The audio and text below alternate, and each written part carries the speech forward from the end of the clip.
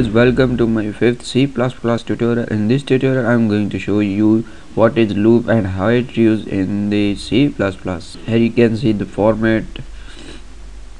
Loops are actually used for the repetition of one times or what we want how much we want. It runs and you can see this is the format of loops.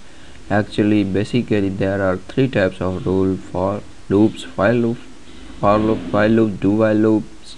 In this tutorial i'm going to show you what is for loops and how it works. So let's see. Here you can see. First declare x. And and now we are in the for. First write the what from where the loop starts. Like uh, first uh, declare i and it start with 0 and now put the end point and where the loop end like I write it end with the x that we uh, that we ask from the user and i plus plus. It means i increment and uh,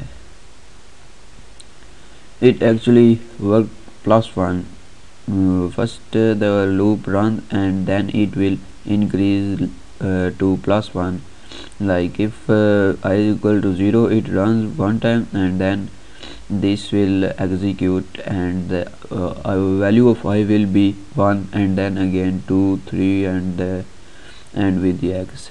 Where we write and now i'm going to i. And this is a new thing endl. endl mean new line and line.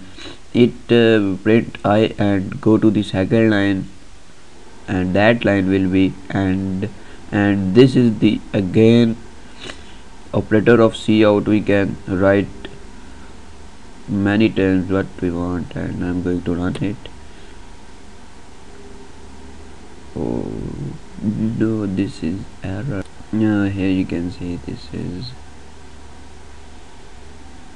and input like uh, you want to read uh, 17 as you can see the loop start with the 0 and end with the 16 because 16 is less than 17 and if we write equal to then it will be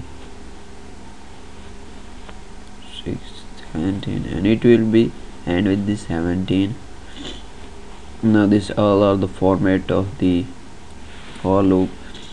Actually there is the actually we also uh, use the for in the for and in the that's all. And I also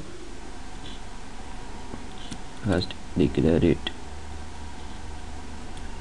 j less than 4 j plus plus j increment see out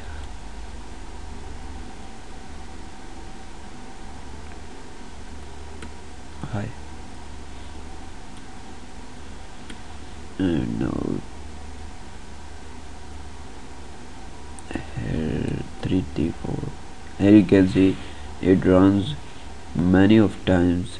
Actually the inner loop runs multiple of that and that times. And the outer loop runs that times. We can also print the uh, table of uh, numbers like uh, you're going to five table of fives five five multiplied by i that is and uh, equal to oh sorry and then equal to 5 multiplied i. And then and you can see it print 5 multiplies by and this is the i values which uh, readily changed and this is equal to and this is the process which uh, which we done uh, with the loop done and now I'm going to print. And you can see 10 as you can see 5 multiplied by 0 and uh, and with the 10 so if you have any question please comment and keep visiting my next tutorial to learn a lot